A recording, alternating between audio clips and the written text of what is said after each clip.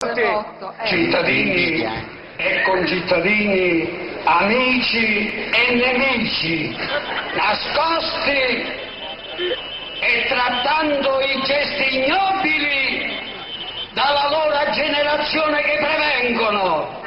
Per cui innanzitutto raccolgo questa occasione di questa giornata, diciamo, di tutto il mondo intero, l'augurio dello scambio della palma, in questo momento non avendo la disponibilità di versarvi un rametto di, di palma. Questa è la voce di Michele Cerone, consigliere comunale negli anni 90, durante un comizio tenuto nella piazza di Melfi, un comune della Basilicata o delle Marche?